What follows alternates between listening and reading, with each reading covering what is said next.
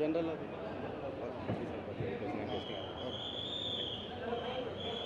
எல்லாருக்கும் வணக்கம்.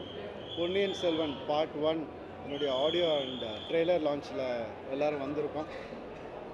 இப்போ எனக்கு திருப்பி ஷூட்டிங் போன மாதிரி இருக்குது எல்லாரையும் பார்த்து அதை பற்றி தான் பேசிகிட்டே இருந்தோம்.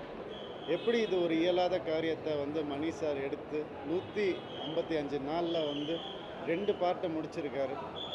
இன்னுமே வியப்பாக இருக்குது அதை பற்றி யோசிக்கும் போது கண்டிப்பாக இது இந்த மாதிரி ஒரு க்ரூ இல்லைன்னா இந்த ஆர்டிஸ்ட் இவங்க எல்லாரும் இல்லைன்னா இந்த ஒத்துழைப்பு இல்லைன்னா ரஹ்மான் சார் இல்லைன்னா ரவிவர்மன் சார் இல்லைன்னா சொல்லிகிட்டே போகலாம் அவங்கெல்லாம் இல்லைன்னா இதை பண்ணியிருக்க முடியாது. இந்த ஒரு மிகப்பெரிய சினிமாவில் நானும் பார்ட்டாக இருக்கேன்.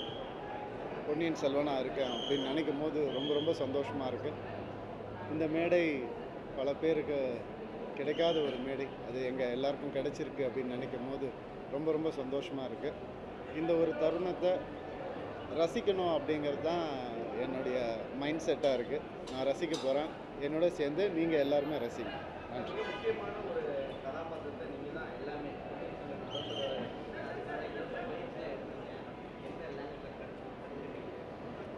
முதல்ல வந்து இது வந்து இமேஜினேஷனுடைய உச்சக்கட்டம் இது. ஏன்னா அந்த காலத்தில் நம்ம ராஜா கதைகள் கேட்டிருக்கோம். அதை பார்த்ததில்லை யாருமே. ஸோ ஒரு ஆர்டிஸ்ட்டுக்கு வந்து இமேஜினேஷனுடைய எபிட்டோம் இது. அப்போ எப்படி இருந்திருப்பாங்க அப்படின்லாம் நினைக்கும் போது அது வெறும் இமேஜினேஷன் தான். ஸோ அப்போ இருந்த சில ரிசர்ச் மணி சாருடைய ஸ்க்ரீன் பிளே அவருடைய டயலாக்ஸ் இதெல்லாம் தான் ஹெல்ப் ஆச்சு. இதை வந்து உயிர் கொடுக்கறதுக்கு பொன்னியின் செல்வன்ற கதாபாத்திரத்துக்கு உயிர் கொடுக்கறதுக்கு அவருடைய ஸ்க்ரீன் ப்ளே தான் ஹெல்ப் ஆச்சு.